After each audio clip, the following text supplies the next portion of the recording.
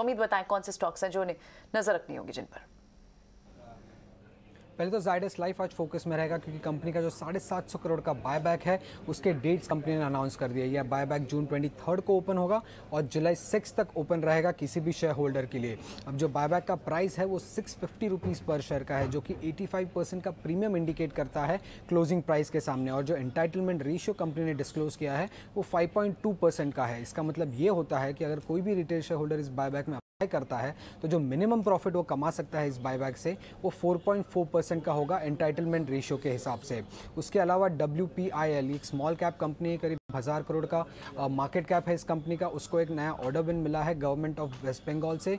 431 करोड़ का ये ऑर्डर है जो मिला है। उसी, उसके लिए अगर आप देखेंगे तो order to market cap ratio जो है वो करीब 42 परसेंट का हो जाता है इस कंपनी के लिए। अब कंपनी को एक वाटर रिजर्वर बनाना है और जो कंप्लीशन पीरियड है इस ऑर्डर का वो करीब ट्वेंटी मंथ्स का है। आखिर में डायनामेटिक टेक भी फोकस में रहेगा क्योंकि कंपनी को एयरबस से एक नया ऑर्डर मिला है। अभी ये जो ऑर्डर है वो एस्केप हैच डोर बनाने का है। एयरबस की नई एयरक्राफ्ट जो लॉन्च हुई है ए टू ट्वेंटी उसके लिए। अभी कंपनी ने इसका ऑर्डर साइज़ तो नहीं अनाउंस किया है बट ये नई एयरक्राफ्ट है और उसका ऑर्डर मिला है तो काफ़ी बड़ा हो सकता है कंपनी के लिए। और कंपनी ने ये भी कहा है कि कंपनी एयरबस के साथ 2006 से काम कर रही है। Right right. uh, mister Sabu भी हमारे साथ जुड़ गया हमारे एक और टेक्निकल गेस्ट अजीत मिश्रा भी अब हमारे साथ हैं। अजीत मॉर्निंग बताएँ, बाज़ार पर सेंटिमेंटल इम्पैक्ट लगातार दिख रहा है। इन्फ्लेशन के डेटा जो फ्राइडे को आए, उसने ग्लोबल मार्केट को परेशान किया इवेंचुअल इम्पैक्ट डोमेस्टिक मार्केट पर पड़ा। अब US Fed interest rate decision के मीटिंग आज से शुरू होती हुई दिखी है। इससे ठीक पहले बाज़ार में कंसर्न्स हैं। निफ्टी बैंक निफ्टी पर ट्रेडिंग व्यू आपका क्या है? Good morning Mansi good morning everyone so basically देखिए, जिस तरीके से सिनेरियो था मानसी तो कहीं ना कहीं हम जस्ट एक, दो दिन पीछे हैं डाउ जोन से। तो बेसिकली हम उसी को रिफ्लेक्ट कर रहे हैं। पिछले करीब यू नो तीन हफ़्ते की रिकवरी लास्ट वीक हमने प्रॉफिट टेकिंग देखा, उसको कंटिन्यूशन देख रहे हैं। तो जस्ट सिमिलर अगर आप देखेंगे तो जो सेम ट्रेंड यूएस मार्केट्स का है, उसी को हम रिफ्लेक्ट कर रहे हैं।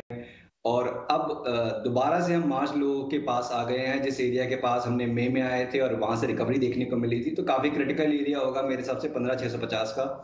उसके नीचे गए तो फिर आप पंद्रह चार सौ पचास मान के चलिए नेक्स्ट इमीडिएट टारगेट होगा। उसके बाद ऑब्वियसली जिस तरीके से हम पैटर्न में ट्रेड कर रहे हैं तो वो लेवल्स काफ़ी नीचे के आते हैं। तो अभी के हिसाब से पंद्रह चार सौ पचास आपको ध्यान में रखना चाहिए। और ऊपर पे अगर रिकवरी आती है तो पंद्रह नौ सौ से लेकर सोलह दो सौ, ये जोन काफ़ी स्ट्रॉन्ग रेजिस्टेंस की तरह करने वाला है। तो सेल ऑन राइज मार्केट है when it comes to index similar trend banking index में भी है। देखिए बैंकिंग ने लीड किया था रिकवरी को जब हमने रिबाउंड दिखाया था ऑफ़ लेट बट अब छत्तीस हज़ार के आंकड़े को क्रॉस नहीं कर पाया। वहाँ से अब जो प्रेशर भी आ रहा है, वो इक्वली स्ट्रॉन्ग आ रहा है। तो मेरे हिसाब से यहाँ पे बत्तीस चार सौ तक के लेवल्स नीचे पे खुले हुए हैं। तो तैतीस हज़ार से लेकर बत्तीस चार सौ।